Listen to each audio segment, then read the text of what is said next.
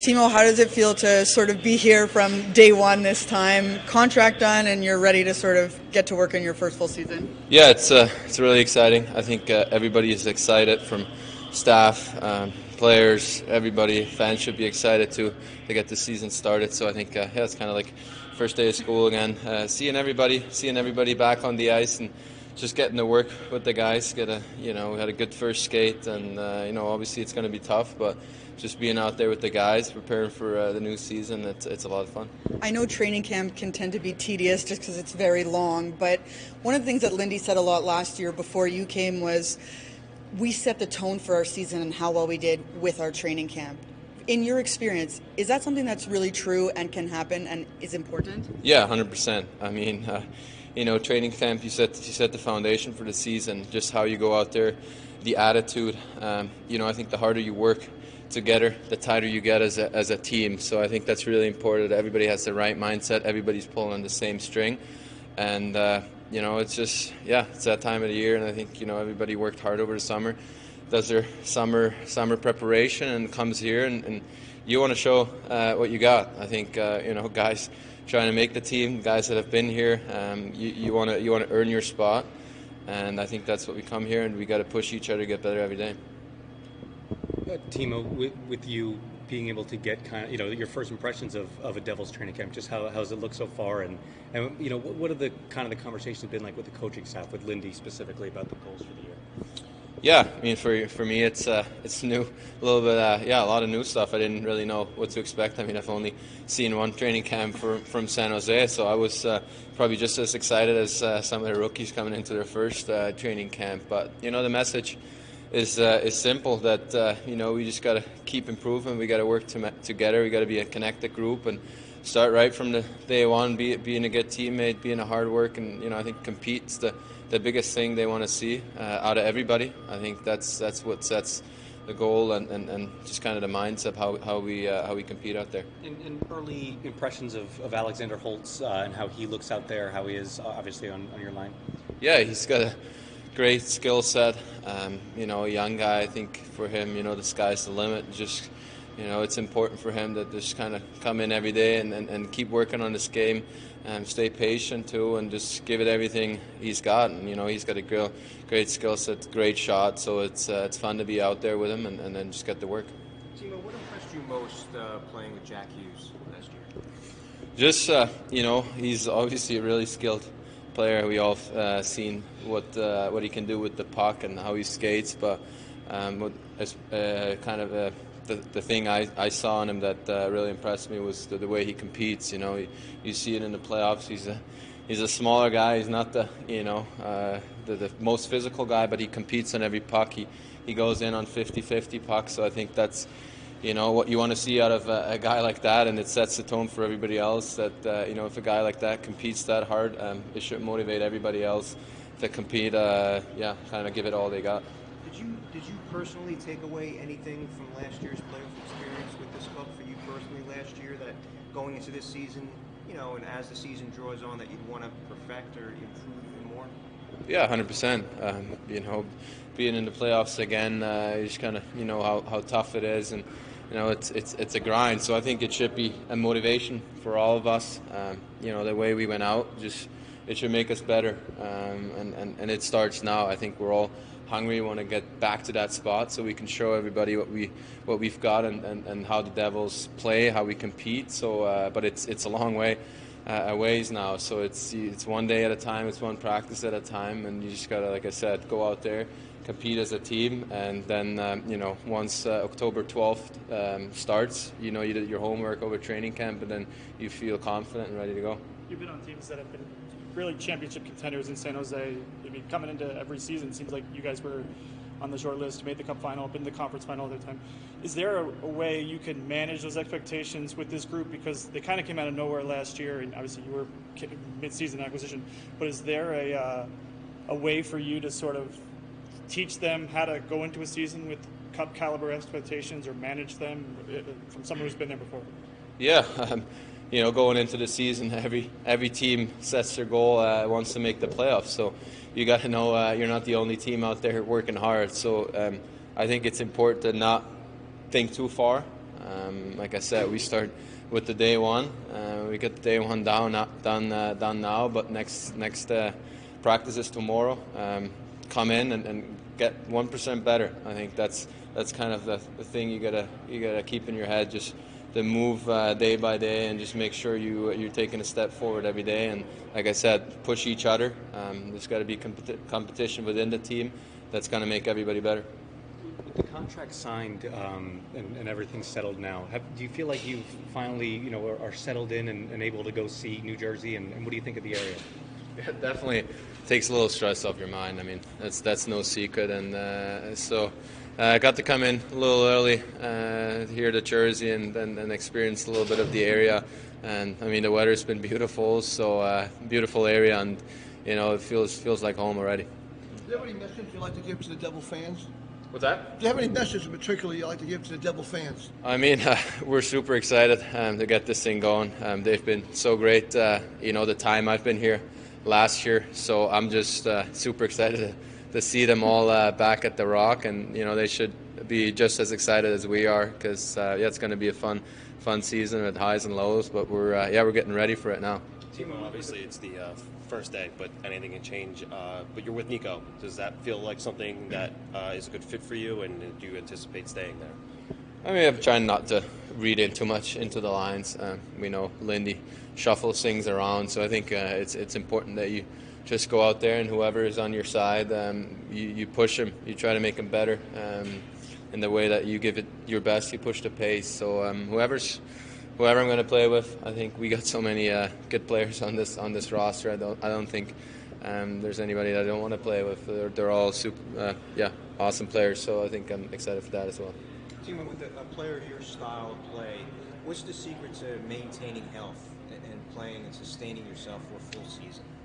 Yeah, I mean, lots of work. It's got to be done over summer. I think uh, you, you, set your preparation and, and, and, kind of your your fundamentals in, in the summer. Um, obviously, rehabbing after playoffs and just getting all the bumps and bruises uh, healed, and then just setting your body up for, for training camp. Um, do your work in the gym and, and, and all that. And I think that's uh, yeah. I've always tried to really push myself over summer, so I come in feeling comfortable. I think it gives me confidence if I know I did did my work in the summer. Um, just come here and, and yeah, give everything right from start. Tyler Toffoli also comes from the Western Conference for the majority of his career. Are your expectations for him for this year and the difference maybe between the, the West and the East? Yeah, he's a great add to our team. He's got uh, you know lots of experience. Won a Stanley Cup, so I think uh, that alone says a lot about him. Um, played played against him a lot. He's a, he's, a, he's a hard player to play against. He's, he's very smart. Got a you know great nose around the net, and he, he's a guy that can finish. So uh, really excited to have him here. And uh, yeah, I haven't been on the ice with him now, so but uh, looking forward to uh, seeing him in action. Timo, it was, it was talked about so much last year, but but with Patrice Bergeron retired, uh, do you think Nico kind of takes that, that next step into that, you know, serious Selke kind of candidate there? Yeah, I mean, Nico uh, showed last year what kind of player he is, and uh, he's he's still he's still improving. Um, you know, same for him. Sky's the limit. He he uh, he comes in every day and, and, works on his game. So I'm I'm excited to keep going out there and, and get better every day and uh, see where uh, yeah where it's going to take him. But uh, you know, I'm really excited to. Uh, to be on the team with him, I mean, uh, he's not just a, a, great hockey player; he's also a great uh, human. So I think, yeah, a lot big, big character and big personality that we have in our team with Nico. Nico, year seven for you. Does it kind of feel crazy that this much time has gone by already? Uh, yeah, definitely. Doesn't feel different to be here though. I'm excited, but uh, yeah, I mean, seven years goes fast. One of the things that we heard from Lindy a lot and from you guys last year was the way you guys set the tone in training camp really changed the course for your year. Is that like an every year kind of thing? And how much do you maybe think about that going into this training camp? Yeah, training camp is uh, really important. Uh, we had a really good one last year, and uh, we want to set the bar uh, high right away again. And uh, we want to work on our our system. We want to work on our legs uh, from day one, and it started. So yeah, we just we're all ready to go, excited to go, and now it's listening and doing on the ice. Nico, did you uh, did, did you and, and Timo and, and Jonas kind of see each other at all this summer? Um, I didn't. I did not. I saw Jonas a couple of times, but we're we're all over Switzerland a little bit and uh, working out with different workout groups. So uh, we didn't see us that much. No.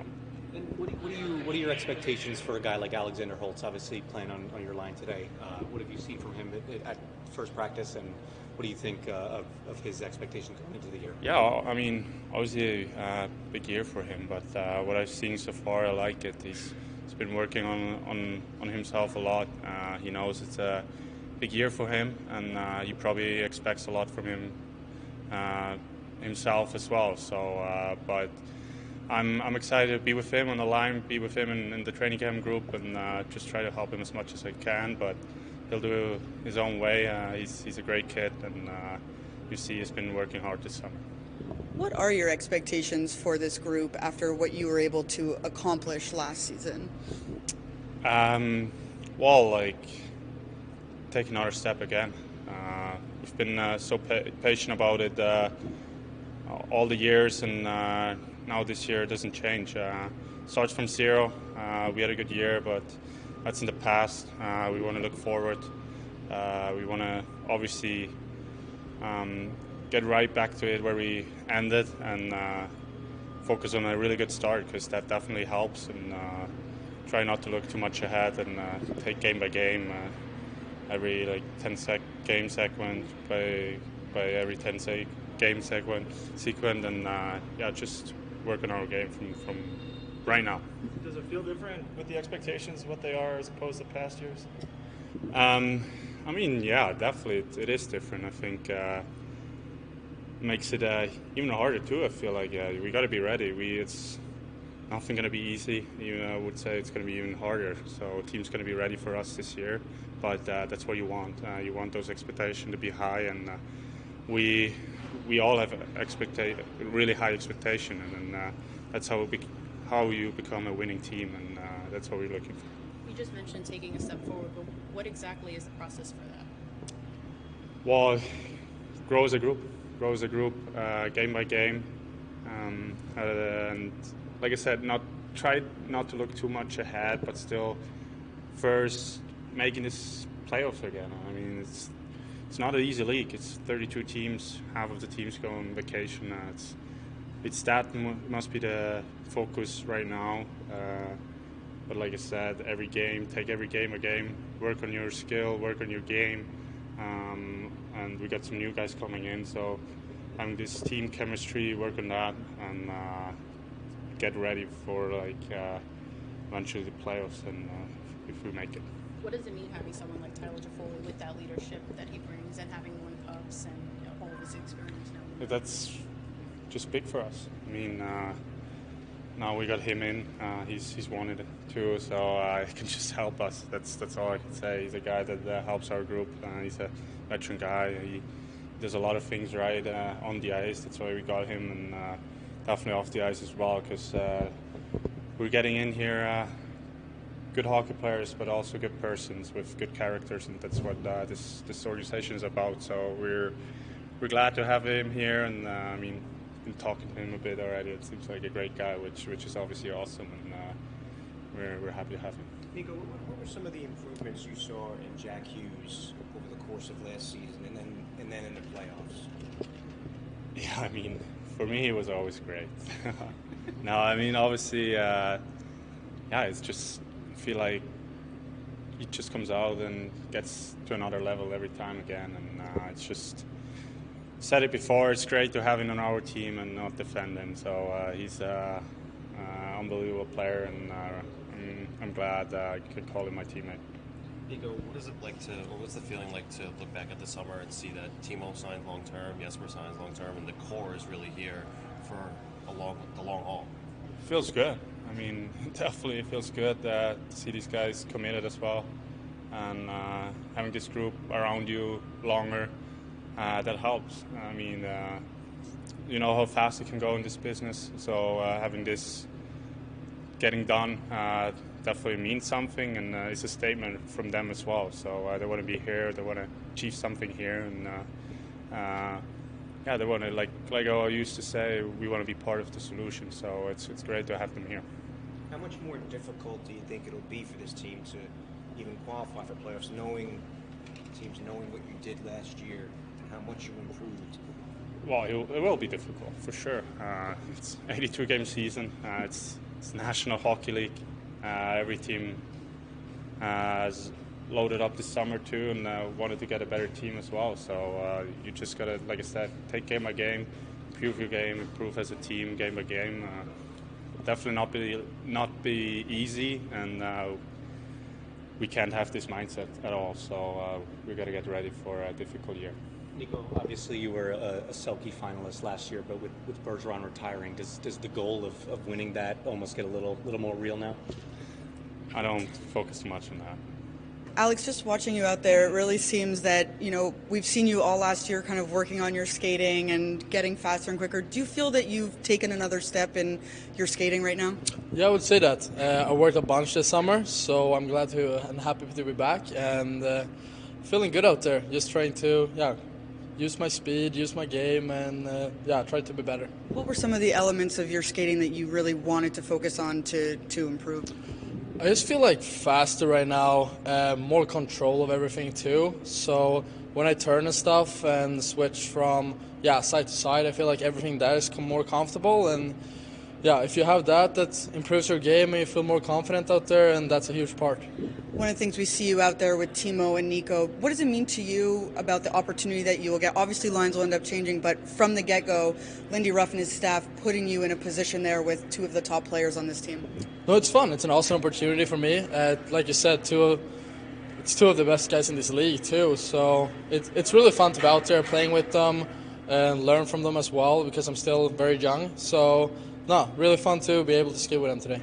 How did you spend your summer? What- did you kind of work on all summer?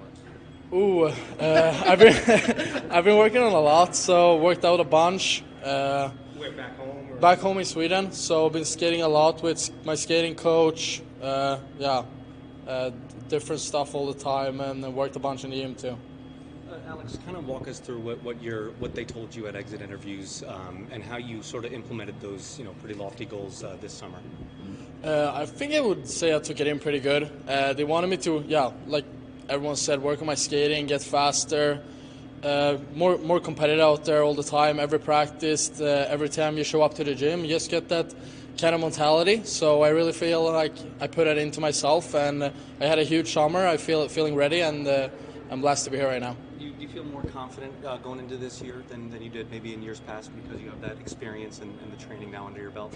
Yeah, totally. Uh, I feel much more confident. Uh, I think that's a huge part, especially for my game. So I always believe in myself, but I would say I believe my, extra in myself this year. Uh, Bratt said that you guys skated a lot together this summer. Um, did you also utilize his skating coach as well? Yeah, we used the same skating coach, uh, Daniel Broberg, back home, and then I've been skating a bunch with uh, my brother. Um, he's a little bit of a skills coach back home too. So, yeah, uh, different coaches all the time get uh, different kind of perspectives of everything. So, uh, just being used to be on the ice a lot, I think that helped me a lot. Thanks, Thanks, uh, Olsey. Kira, how did uh, summer training go? I know you were on Long Island uh, working there. Uh, good. Um, I stayed in Long Island for a bit before I went back home, so I worked out there for maybe a month. Who'd you work with out there? Some of the Long Island goaltenders, coaches, and stuff. Well, I only did the workouts there, no uh, skating, so uh, I went there. Uh, my girlfriend knows knows uh, someone that works or has a, its own gym there, so I got to work out individually with them. Coming into this season, obviously things are different than you know last season, where you know you were expected to be one of the goaltenders here. What, what were some of the things that you worked on to make sure that you were either the one A or one B here? Um, probably just you know getting stronger, um, so I can play a full season.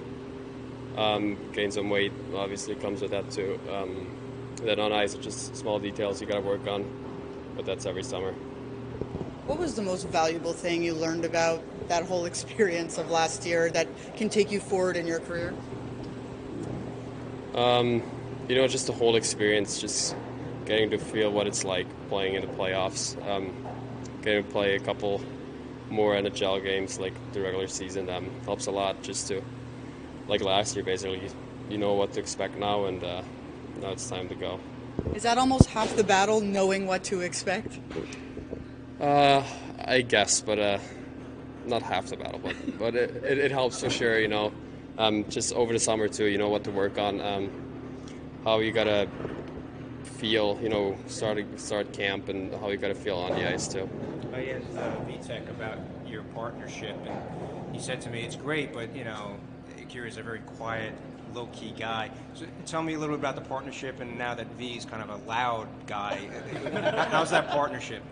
Uh, good. You know, uh, in the morning he's the first guy. Just starts talking to me, um, and you know, it kind of doesn't stop. But you know, it's great. He's a fun guy, and uh, I opened up a little bit more too now this year. You know, just feel more comfortable around the guys. Um, try to be more open too, and you know, he's he's been great all all, all last year too.